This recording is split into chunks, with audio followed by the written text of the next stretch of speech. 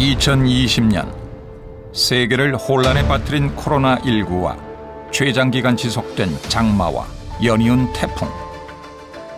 지구는 우리에게 끊임없는 경고를 보내고 있습니다.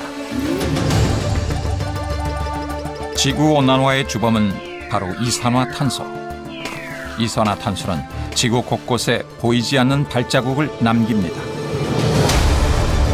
지구의 경고 앞에 무력해진 우리는 발자국을 남기지 않는 신재생 에너지를 선택해야 하는 기로에 놓였습니다. Less and less environmental impact means a brighter future for our region, for our area. We want to keep that lake blue and we want to do everything we can to do that. 화석 연료로 인한 자원 고갈과 환경 오염에 대한 경각심이 갈수록 커지면서 이를 대체할 친환경적이고 지속 가능한 신재생 에너지의 필요성은 더욱 높아지고 있습니다. 신에너지의 대표 주자가 바로 수소입니다.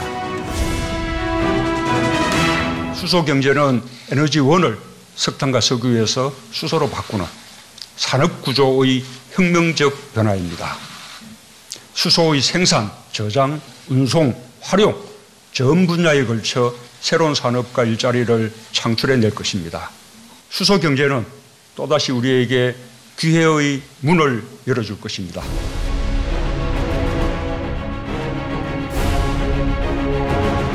바람을 이용한 풍력 발전. 풍력으로 생산된 전기가 수소를 만들고 그 수소를 이용해 자동차와 열차가 달리는 세상. 이제 우리는 수소 사회로 진입합니다.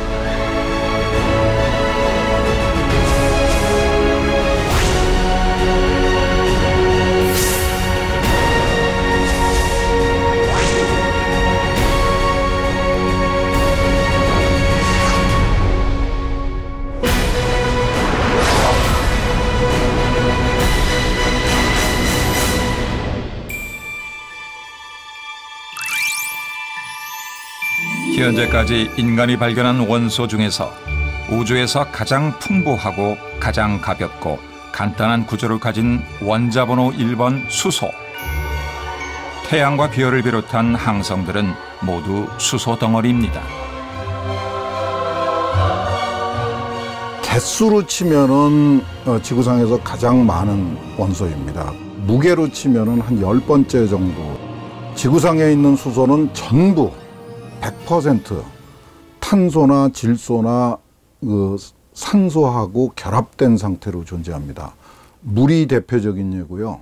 어, 천연가스, 메탄가스가 그 다음 예고, 그 다음에 암모니아. 이런 형태로 아주 단단하게 결합된 화합물의 형태로 존재합니다. 지금까지 우리가 사용해왔던 석탄과 석유, 천연가스 같은 화석 연료 역시 주 성분은 탄소와 수소입니다. 화석 연료를 사용해온 우리는 시간이 지날수록 지구 온난화의 심각성을 알게 됐고 그 원인이 탄소라는 사실을 밝혀냈는데요. 동시에 수소가 상당한 장점을 가진 원소란 사실도 알게 됩니다. 크게 풍부하다, 그 다음에 친환경적이다, 그 고효율 활용도가 높은 에너지다. 화석 연료를 직접적으로 대체할 수 있는 유일한 에너지가 수소이기 때문에 사회 전반에 막대한 효과를 가져올 수 있다. 그래서 수소 경제 사회라는 용어가 최근 많이 사용되고 있다고 보시면 되겠습니다. 그 아직까지 이제 수소 산업은 태동기에 있기 때문에 이제 관련 인프라, 제도, 기술 개발이 아직까지 부족하고요. 그리고 이제 안전에 대한 불안감 등으로 이제 그런 것들이 이제 과제로 남아 있습니다.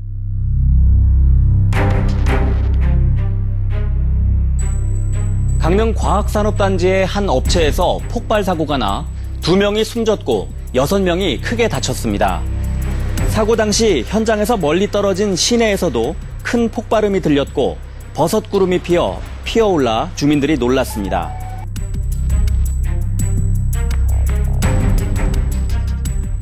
수소 탱크가 폭발했습니다. 8명의 사상자가 발생했고 건물 3동이 박살났습니다.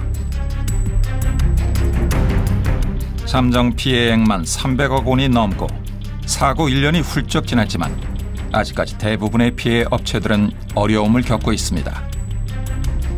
무엇보다 이 사고는 수소를 에너지로 바라보는 사람들에게 부정적인 낙인을 찍었습니다.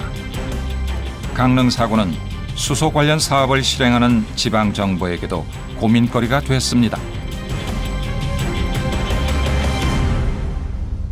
어, 수소 경제 활성화를 위해서는 우선적으로 수소 인프라 구축이 필요한 상황입니다.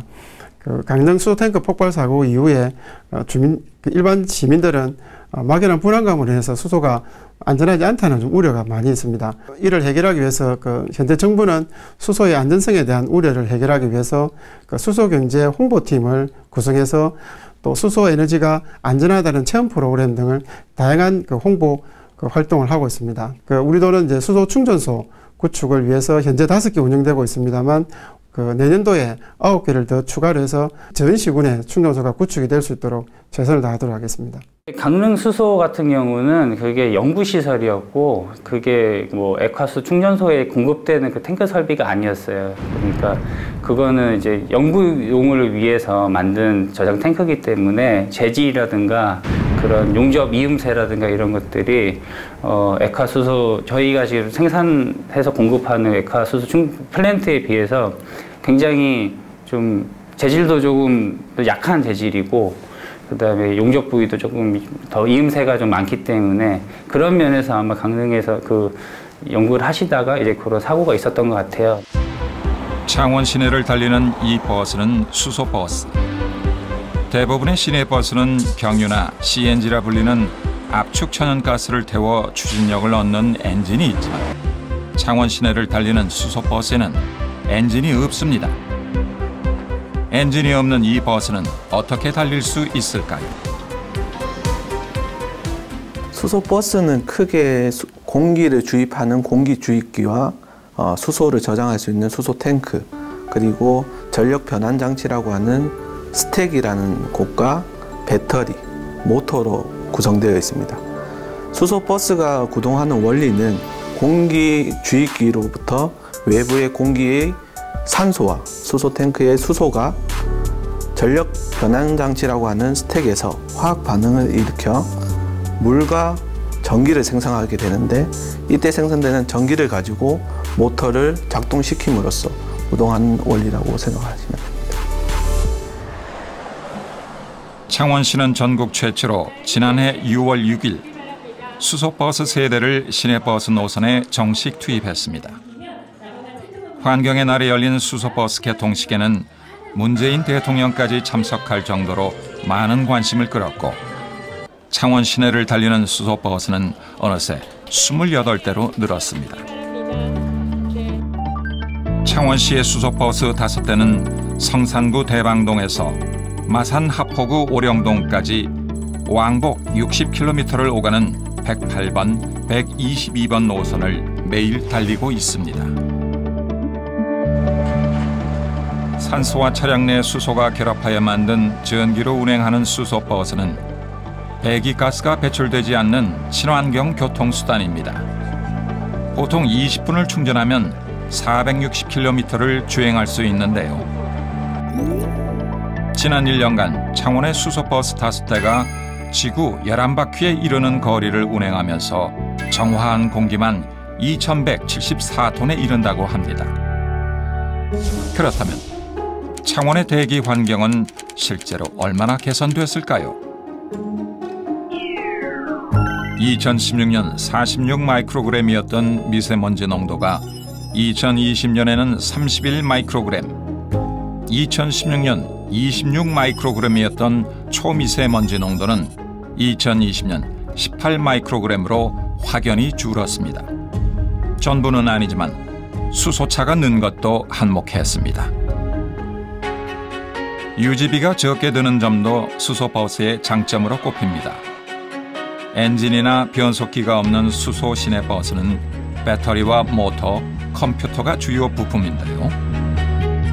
타이어와 라이닝 외에는 소모성 부품이나 윤활유를 주기적으로 교체할 필요가 없어 운영비가 엔진이 달린 시내 버스보다 적게 듭니다. 창원시는 2040년까지 수소버스 1,500대를 보급할 계획입니다.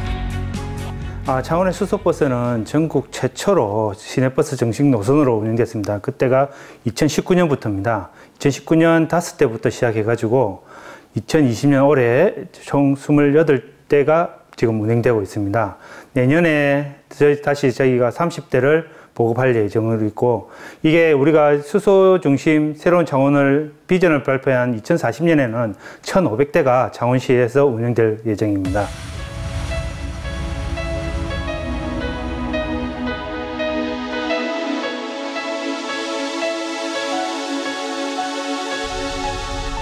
박호기 씨는 국내에서 처음으로 2019년에 친환경 수소차 개인 택시 운행을 시작했습니다.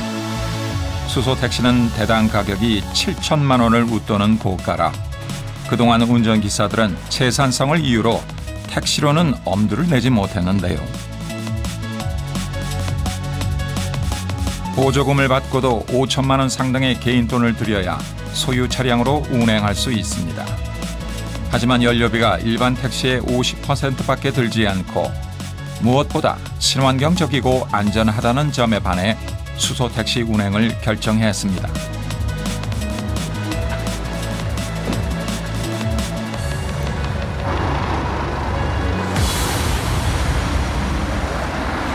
얼마 정도 되나요?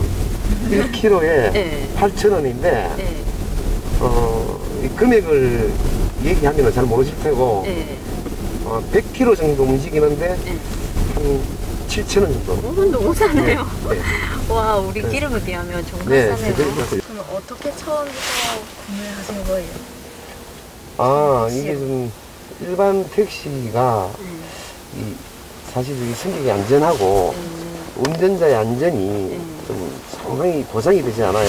그래서 이제 그런 안전성도 좋고 음. 또 이게 친환경 차잖아요. 그러니까 네, 네. 앞으로 또 이런 차로 해야 된다는 그런 이제 그런 생각도 있었고 어. 특별한 점은 네. 아직 이제 수- 충전소가 많지 않다 아, 보니까 예, 예. 충전할 때 조금 장거리를 이제 거리가 한 5km 정도 이상 이동해야 되는 부분 아. 예, 그런 부분이 있고 예. 그리고 이제 그 충전 한 대가 앞차가 한 대 충전하고 나면 예. 약 5분에서 10분 정도 기다려야 됩니다. 음.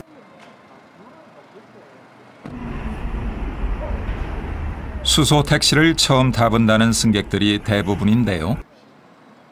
그럴 때마다 박호기 씨는 수소차의 장점을 승객들에게 설명하기 바쁩니다. 창원에는 한 대.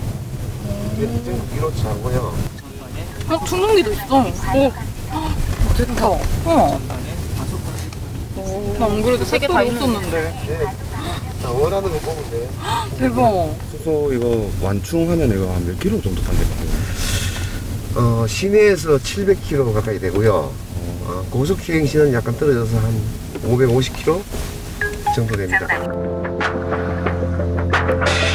아직은 도심에 수소 충전소가 많지 않다 보니 충전에 불편함은 있다는데요. 창원시는 내년 상반기까지 수소 충전소를 7개까지 늘릴 계획입니다. 그렇다면 수소차는 정말 안전할까요? 수소는 연료 전지 노출에 의한 감전의 위험, 수소 탱크 파열에 의한 화재나 폭발이 가장 우려됩니다. 차량이 충돌할 경우 수소 탱크는 폭발할까요? 우리가 흔히 알고 있는 수소 폭탄과 수소차에 쓰이는 반응의 원리는 화학적으로 다릅니다. 수소차는 산소와 수소의 단순한 화학 반응으로 에너지가 만들어지기 때문에 안전하게 다루어질 때 가장 안전한 에너지가 됩니다. 수소 같은 경우는 어, 원소 기준으로 봤을 때 가장 가벼운 기체입니다. 수소가 세게 되면 대기압보다 밀도가 낮기 때문에 바닥에 쌓이는 게 아니라 확산이 되면서 날아가 버립니다. 그러다 보니 수소는 쌓을 수가 없는 거죠. 그래서 만에 하나 수소가 혹시 새더라도 이 수소가 적체되지 않고 확산이 되고 날아가기 때문에 조금 기존 가스보다는 사용하는데 조금 더 안전하다 볼 수 있습니다. 우리나라가 만든 수소차의 안전성과 우수성은 이미 세계적으로 인정받고 있습니다. 현대자동차는 세계 최초로 수소전기 대형 트럭의 양산 체계를 갖추고 수출에 성공하면서 세계적인 관심을 모으고 있습니다. 그리고 이 트럭은 음, 세계 최초로 대량 생산되는 수소전기 트럭입니다. 스위스로 선적되었고 2025년까지 총 1,600대를 유럽에 수출할 예정입니다. 저희는 국내 시장에서 수소버스와 수소트럭 판매를 확대하고 미국, 중국 등 해외 시장도 적극 개척하겠습니다. 그린 뉴딜은 미래를 위한 중요한 사업 방향이라고 생각합니다. 현대차 그룹은 저탄소, 나아가 제로 탄소 시대를 위해 전기차와 그리고 수소 전기차 부분에서 세계 최고의 수준의 친환경 기술 기업이 되도록 하겠습니다. 우주 질량의 75%를 차지하는 기체인 수소는 무한한 에너지지만 지구상에서 단독으로는 존재하지 않습니다. 그렇다면 우리는 수소를 어디서 얻어야 할까요? 인류가 수소를 얻기 위해 고안해낸 방법은 세 가지. 우리가 석탄이나 석유를 태울 때 나오는 수소를 모으거나 천연가스에 고온의 압력을 가하거나 물을 전기 분해하는 것입니다. 석유화학 기업과 제철소에서는 부생수소라고 하는 수소를 부수적으로 얻고 있습니다.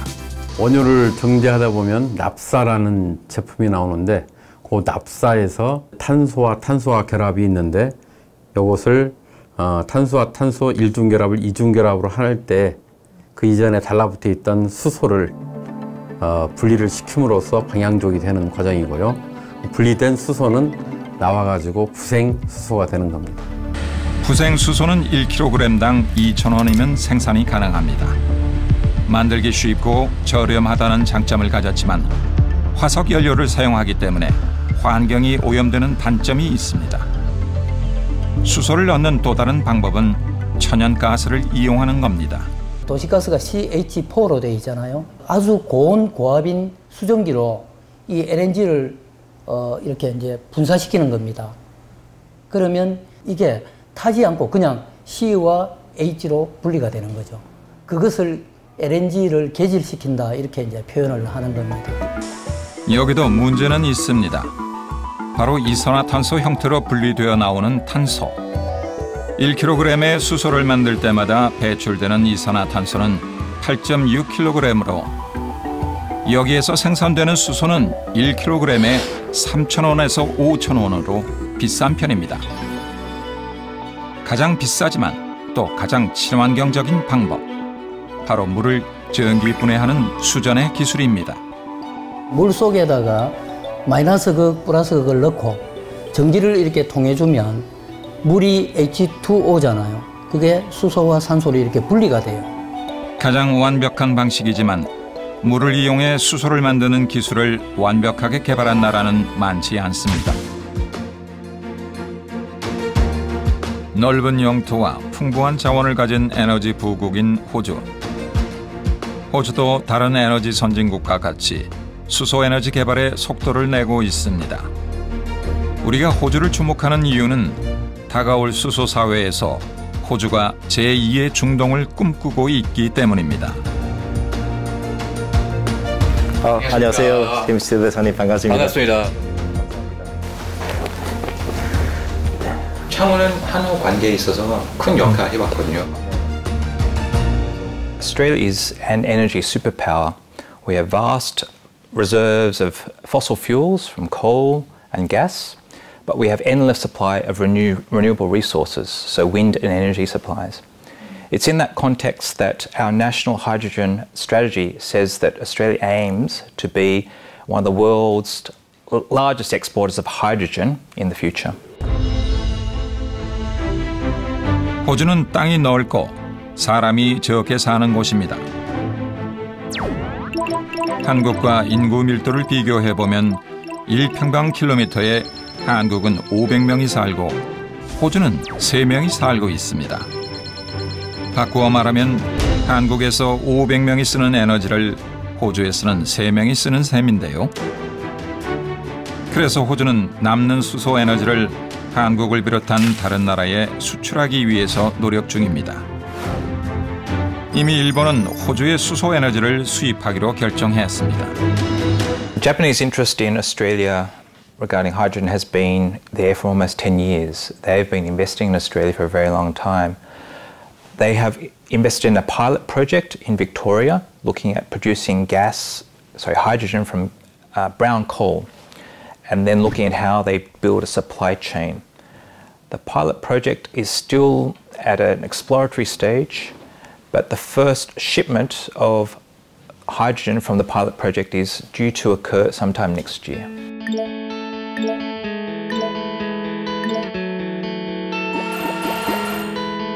호주는 천연가스나 갈탄 같은 자원을 이용해 수소를 생산하는데 호주의 광활한 자연을 이용한 그린 수소도 생산이 가능합니다. 남한 면적의 5.5배에 달하는 호주 필바라 사막. 이곳에서 생산이 가능한 태양광 에너지는 2040년까지 2만 기가와트로 2만 개의 원전이 생산하는 전기를 사막의 태양광만으로 생산이 가능합니다. 호주는 이런 무한한 자원을 활용해 수소를 만들고 전 세계에 수출하겠다는 전략입니다. 우리나라는 2030년부터 수소를 다른 나라에서 수입하겠다는 계획을 세웠는데요. 수소 산업의 메카인 창원시를 호주가 주목하는 이유이기도 합니다. It will be creating the supply chain of the future for hydrogen.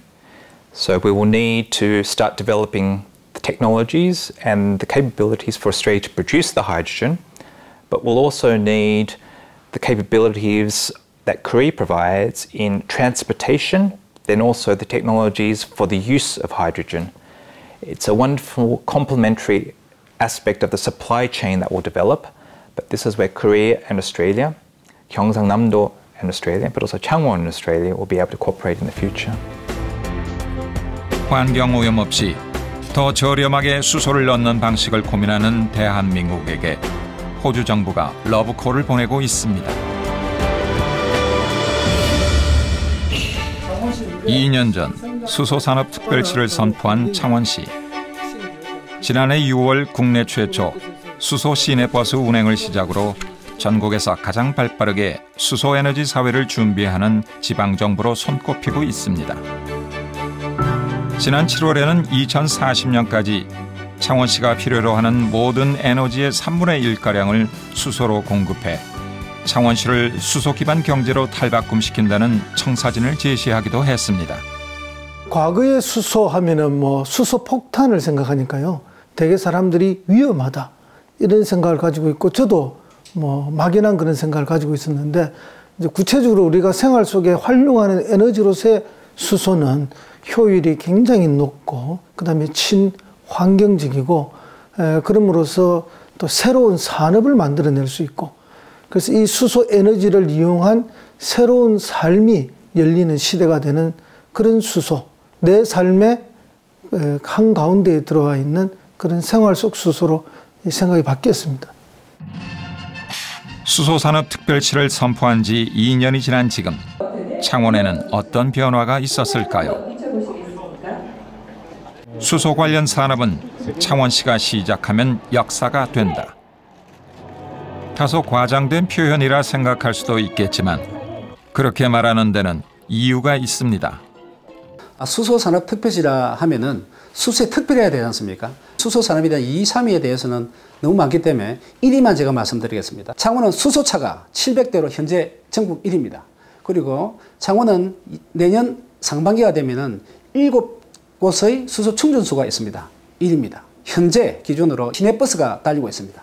1위입니다. 그리고 마지막으로 창원은 수소 생산, 저장, 운송, 활용까지 전 주기를 실증하는 수소 실증 단지가 세계 최초로 구축되어 있습니다. 세계 1위입니다. 창원시는 수소의 생산, 저장, 운송, 활용이 완벽하게 이루어지는 수소 생태계가 잘 구축되어 있습니다. 수소 생태계, 즉 수소 전주기라고 하는데요. 수소를 생산하고 저장하고 운송하고 활용하는 산업을 말합니다. 창원에서 지금 현재 국내 최초로 수소를 생산하는 수소 생산 설비를 구축을 하고 있고요. 그다음에 액화 수소도 국내 최초로 하고 있고 세계 아홉 번째로 하고 있습니다. 그리고 유통 관련해서도 한국가스공사와 유통을 지금 현재 하려고 준비 중에 있고 활용 쪽은 수소 충전소, 수소 자동차, 수소 불삭기, 수소 트램, 수소 드론, 가정용 발전, 그 다음에 산업용 발전 등 활용할 수 있는 대부분의 산업들을 창원시에서 육성을 하고 있습니다. 이 생태계가 자급자족할 수 있는 선순환으로 넘어갈 수 있다라고 저희가 지금 판단하고 있습니다. 수소 생태계가 잘 갖춰진 만큼 창원은 수소 관련 기업들이 가장 많은 곳입니다. 창원시도 다양한 수소 관련 기업들을 지원하기 위해 다양한 노력을 해오고 있는데요. 제일 중요한 것은 이제 수소 모빌리티 중에서도 여러 mobility가 있지만 그 중에서도 자동차가 제일 중요하지 않습니까? 그래서 한국 자동차 연구원 우리 동남 분원이 우리 창원시에 곧 건설이 됩니다. 이것이 건설이 되면은 여러 그 수소를 이용한 자동차뿐만 아니라 다양한 모빌리티 전체를 실험하고 연구하고 실증하는 그런 단지가 될 것이고요. 그것과 관련된 생태계가 구축이 되고 현대차가 그것과 관련된 연구센터를 창원에 구축하게 됩니다. 그러면 지역의 많은 기업들이 여기서 사업을 할 수 있는 기회가 열리게 될 것입니다. 그래서 전국에 있는 다른 기업들도 일로 올 것이고 또 우리 자체 내에 있는 기업들도 그게 참여할 수 있는 기회가 더 많이 보장이 되어서 창원에서 수소 산업을 중심으로 하는 새로운 산업 생태계가 많이 열릴 거고요. 그 과정에 저희 창원시는 다양한 형태의 지원을 준비하고 있습니다. 작고 가벼운 기체의 수소. 수소는 어떻게 운반해야 할까요? 압력이 높아질수록 밀도가 높아지는 수소는 액화 상태로 만들면 부피가 800분의 1로 줄어들어 저장과 운송이 쉬워집니다. 하지만 수소는 영하 253도의 극저온에서 액화되는 물질로 고도의 액화 기술력이 요구되는데요. 수소 액화 기술은 세계에서 8개 나라에서만 가능합니다. 두산 중공업과 창원시와 경상남도가 세계에서는 아홉 번째로 수소 액화 플랜트 사업을 시작했습니다. 수소 액화 사업이 실제로는 세계적으로 예, 전 세계에 어, 세 군데밖에 없어요. 액화 플랜트 같은 경우는 실은 국내 최초예요.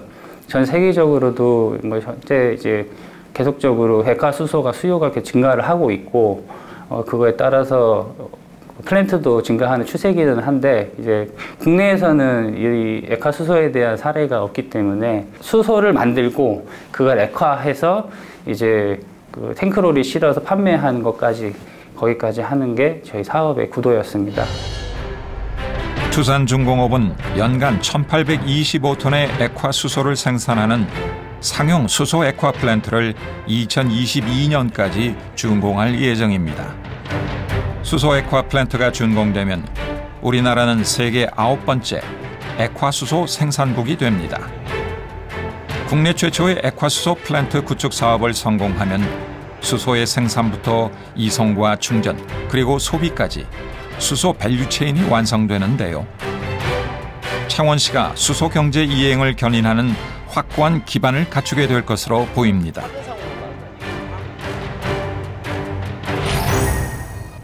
한 해 400만 명이 넘는 관광객들이 찾는 진해 군항제. 내년 군항제에서는 색다른 볼거리가 하나 더 등장할 것으로 보입니다. 수소로 달리는 열차 수소 트램이 전국에서 처음으로 진해 군항제를 통해 관광객들에게 선보일 예정입니다. 현대 로템이 개발 중인 수소 트램은 올해 말까지 트램용 핵심 부품과 성능 시험 플랫폼을 만들어 내년부터는 수소 트램 CJ 차량을 제작할 예정인데요. 2023년 본격 상용화를 목표로 하고 있습니다. 수소전기 트램은 철도 차량에 안전하고 친환경적이며 경제적이면서도 편리한 장점을 기본적으로 가지고 있습니다. 거기에 덧붙여 전차선, 변전소와 같은 급전 설비를 필요로 하지 않기 때문에 아, 인프라 건설이나 유지 보수 비용을 획기적으로 줄일 수 있어서 경제적입니다. 아, 랜드마크로서 도시미관에도 기여하고 관광 자원으로서 활용도 할 수 있습니다. 장거리 운행이 가능한 수소 연료 전지의 특성까지 고려한다면 기존의 열차의 장점을 배가할 수 있습니다. 수소 트램은 1시간을 운행하는 것만으로도 약 800 마이크로그램의 미세먼지 정화 효과를 발휘합니다. 움직이는 공기청정기라고 할 수 있죠. 수소 연료 전지는 수소를 공기 중에 산소와 반응시켜 얻은 전기를 이용해 모터를 구동하는 방식입니다. 친환경이라고 하는 것은 수소와 산소가 결합해 에너지를 만든 후 이산화탄소 같은 오염물질이 아닌 물이 배출되기 때문인데요. 아직은 한 번 충전해서 시속 70km로 150km 주행이 가능하지만 앞으로의 연구 개발을 통해 주행 거리를 향상시켜야 하는 과제도 남아 있습니다.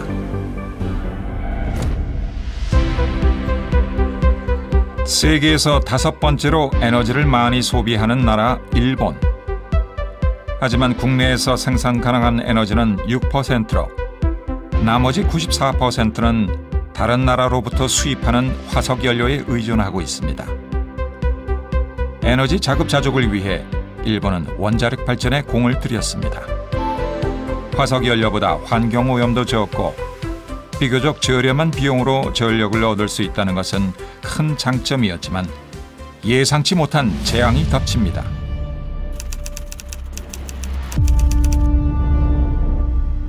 소련 체르노빌 원전 사고에 이은 인류 최악의 원전 사고가 발생합니다. 후쿠시마 사고 이후 일본 정부의 에너지 자급 계획에는 제동이 걸렸습니다. 2010년까지만 해도 국내 생산 에너지의 29%를 원자력에서 얻었지만 후쿠시마 사고 이후 원자력의 비중은 1%로 하락하고 맙니다. 일본 정부는 2015년부터 중단했던 54기의 원전을 일부 재가동하고 있지만 핵 폐기물을 처리하는 문제로 골머리를 앓고 있습니다. 일본 전역의 원자력 발전소에서 쓰고 남은 핵 연료를 처리하려면 적지 않은 시간과 비용이 들어가기 때문입니다. 일본은 또 다른 에너지를 찾아야 했는데 이 에너지는 바로 수소입니다. 2014년 일본 정부는 수소 사회 실현을 위한 중장기 로드맵을 발표했습니다. 일본은 수소를 직접 생산하지 않고 호주에서 석탄의 일종인 갈탄을 대량으로 구매해 수소를 얻은 뒤 일본으로 운반해 오겠다는 계획을 세웁니다.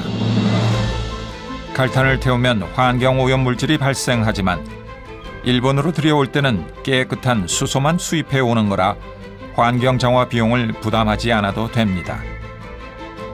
갈탄은 호주의 무한한 자원이기 때문에 저렴한 가격에 수입할 수 있다는 장점도 있습니다. 東京都では2014年に 水素社会実現に向けた東京戦略会議というものが立ち上げられまして、え2020年、2030年に向けた目標というものが掲げられましたのでエネルギー資源を持たない日本にとってはやはりいろいろなものから作り出せる水素というのは非常に将来にとって有効なエネルギー資源の一つだと考えておりますのでそういったメリットからさまざまな企業の方が水素の実用化に向けてさまざまな取り組みを進めている段階かと思います。 도쿄에 있는 스이소미루 수소정보관. 수소 에너지에 대한 기본 정보를 얻고 다양한 체험까지 가능한 곳입니다. 2016년 개관 이후 이곳을 찾는 관람객은 꾸준히 증가했고 문을 연 지 3년 만에 연간 방문객은 2만 명을 기록했습니다. 일본의 파나소닉이 개발한 가정용 연료전지 에네팜. 천연가스에서 추출한 수소를 연료로 사용하는데 연료전지 자동차와 같은 원리로 전기를 얻고 부수적으로 생산되는 열을 이용해 온수까지 만듭니다. 일본의 대표적인 수소 연료전지 자동차 미라이는 운송수단으로 만들어졌지만 비상용 발전기 역할까지 할 수 있도록 개발되고 있습니다. このちっちゃい箱。これ外部給電器っていうんですけどこちらの機械を通してこの車の中に入っている水素をまず車のための電源に変えてその車のための電気をこういったお家の電源につなぐマシンになってます、まあ、要はチューナーみたいな役割をするマシンです。ここに車が満の中に水素が満タンに入っていた時に 家庭用のお家の電源全部ひっくるめて1週間7日間は持つと言われてます 후쿠시마 원전 사고 이후 일본은 원자력 시대를 넘는 수소 시대를 준비하고 있습니다. 21세기 최대 에너지 혁명으로 불리는 쉐일가스 붐이 북미 지역을 중심으로 점차 확산됐습니다. 대규모의 쉐일층이 발견된 텍사스와 노스다코다에서는 매일 800만 배럴이 넘는 쉐일 오일과 쉐일 가스가 쏟아지고 있는데요. 천연가스의 한 종류인 쉐일 가스의 주 성분은 탄소와 수소가 결합된 유기화합물인 메탄. 미국은 쉐일 가스에서 수소를 추출하는 연구를 진행하고 있습니다. Currently, the most cost-effective way to generate hydrogen is through reformation of natural gas. That is the most cost-effective way to, to get hydrogen. The benefit is that in the United States, hydrogen can be derived from total domestic resources. We are domestically supplied natural gas, so we do not have to depend any longer 미국은 중국에 이어 전 세계에서 두 번째로 에너지를 많이 소비하는 나라입니다. 매년 수천 메가톤에 이르는 에너지를 소비하는데요. 석유가 차지하는 비중은 30%가 넘는데 자체 생산으로는 감당할 수 없어 매일 7,700만 배럴이 넘는 석유를 수입하고 있습니다. 수입한 석유는 대부분 자동차 연료로 사용되는데요. 현재 미국이 꿈꾸는 미래는 운송수단의 탈석유화. 미국 정부는 수년 전부터 도요타와 함께 관련 연구를 진행해 왔습니다. 목표는 내연기관 자동차와 경쟁할 수 있는 수소연료전지 자동차를 만들어 보급하는 것. 연방정부와 주정부는 수소연료전지 자동차용 충전소를 설치하는 정책도 추진 중입니다. 특히 캘리포니아 주정부가 가장 적극적이죠. 캘리포니아 주정부는 현재 수소 충전소 건립 비용을 85%까지 지원하는 법을 제정했습니다. 현재까지 등록된 수소 연료전지 자동차는 우리나라 전체 보급량의 8배에 이릅니다. 다른 주도 점차 적극적으로 나서는 추세이기 때문에 계획에 차질이 생기지 않는다면 미국 전역에는 2024년까지 100개의 수소 충전소가 설치되고 수소 연료 전지 자동차 보급량은 대폭 증가할 것으로 보입니다.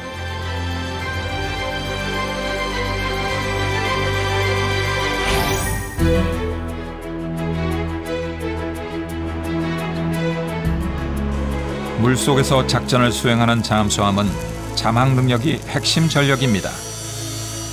자망 시간이 길수록 조용할수록 적에게 노출 가능성이 낮고 폭넓은 작전을 수행할 수 있기 때문인데요. 범한 산업은 잠수함에 들어가는 연료 전지를 독일에 이어 세계에서 두 번째로 만든 업체입니다. 토산 안창호함과 안무함에는 범한 산업이 개발한 150kW 고분자 전해질 연료 전지 4개가 탑재됐습니다. 특히 효율성을 대폭 향상시켜 자망 가능 기간을 3주로 기존의 손원일 함보다 일주일이나 개선시켰습니다. 해군들이 독일 제품을 쓰면서 지금 가장 좀 힘들어하는 부분 중에 하나가 어떤 고장이라든지 이, 런 부분이거든요. 근데 저희 제품을 지금 해군이 테스트한 결과로는 저희 제품이 훨씬 더 어, 신뢰성이나 이런 게 높다라고 그런 평가를 받고 있습니다. 네. 잠수함에 들어가는 연료 전지가 국산화에 성공하면서 해군은 조금 더 안정적인 잠수함 운용을 할 수 있게 됐습니다. 디젤 잠수함보다 자망 시간은 훨씬 더 길고 핵 추진 잠수함보다 더 조용한 잠수함이 탄생한 겁니다. 수소로부터 에너지를 얻으려면 결국 수소가 산소와 반응을 해 전기를 만들어야 에너지를 얻을 수 있습니다. 그래서 연료 전지는 수소 에너지 사회에 있어 가장 중심적인 역할을 하고 있습니다. 저희들이 20년 전에 2000년 초에 시작할 때만 해도 선진국하고의 격차가 아주 심했습니다. 심했는데 그동안 이제 그 그런 웨이브가 좀 가라앉았을 때 그래도 꾸준히 국내에서 연구 개발이 이제 이루어지고 이러고 그 다음에 특히 이제 수년 전부터 어, 우리나라가 오히려 그 뭐 유럽이라든지 일본, 미국보다 오히려 더 많은 투자, 연구개발 투자를 하게 되면서 전 세계 수준의 한 60, 70% 정도 수준까지 왔다고 생각합니다. 수소 경제는 에너지원을 석탄과 석유에서 수소로 바꾸는 산업 구조의 혁명적 변화입니다. 수소의 생산, 저장, 운송, 운송, 활용 전 분야에 걸쳐 새로운 산업과 일자리를 창출해 낼 것입니다. 수소 경제는 또다시 우리에게 기회의 문을 열어줄 것입니다. 문재인 정부는 2019년 수소 경제 활성화 로드맵을 발표했고 혁신 성장의 새로운 동력으로서 수소 경제를 실현할 구체적인 방법을 제시했습니다. 수소 충전 인프라는 정부가 규제 샌드박스 제도를 도입해 처음으로 승인을 받은 첫 번째 사업이 되면서 규제 특례를 통해 도심 한가운데에 수소 충전소가 설치될 수 있게 됐습니다. 2040년까지 수소차를 620만 대 생산하고 당장 내년부터 수소버스를 비롯해 택시와 공공 부분의 살수차와 청수차를 수소차로 확대해 나갈 계획입니다. 세계의 수소 시장 규모는 급성장하고 있는데요. 2050년에는 1667조 원 규모로 성장할 것으로 예상돼 수소 경제는 이제 선택이 아닌 필수가 됐습니다. 지구를 살리는 친환경 에너지로서만이 아니라 경제를 살리는 에너지가 될 겁니다. 특히 대한민국 경제는 확실한 미래 성장 동력이 될 수 있는 그런 에너지원이다 이렇게 생각합니다. 지금 세계적으로도 그 글로벌 대기업들이 재생에너지를 통, 재생에너지만으로 생산한 제품이 아니면은 어, 자기들 그래하지 않겠다. 이제 아리백이라고 해서 그런 선언을 계속 확대해 나가고 있지 않습니까? 수소는 우리 대한민국이 가장 어, 앞서 있는 에너지원입니다. 어, 특히 수소차 분야는 세계적으로 우리 현대차가 가장 앞서 있지 않습니까? 그뿐만 아니라 각종 수소와 관련된 각 단계별로 우리 경남만 하더라도 앞서가는 기업들이 꽤 있기 때문에 수소 경제는 대한민국의 미래 경제다. 그런 차원에서도 대단히 중요하다 이렇게 생각합니다.